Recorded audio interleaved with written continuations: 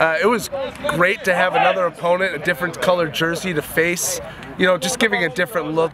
Normally we're uh, we're going against ourselves all the time, and you know I love playing against our defense, but it's good to get to see somebody else on the other side of the line.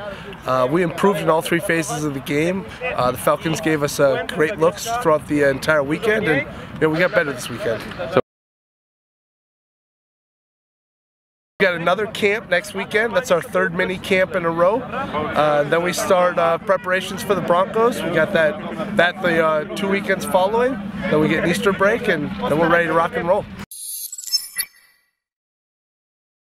Taking steps in the right direction, and the thing that, uh, that we talk about all the time is that there's continuity. So they've they've heard these things, they've seen these things before, so we're able to to start further along than where we started last year. We're already where we were install-wise mid-season last year. We're at this point last season we were just putting in base zone rules and how to combo and how to play cover three. Raz, dwa, trzy!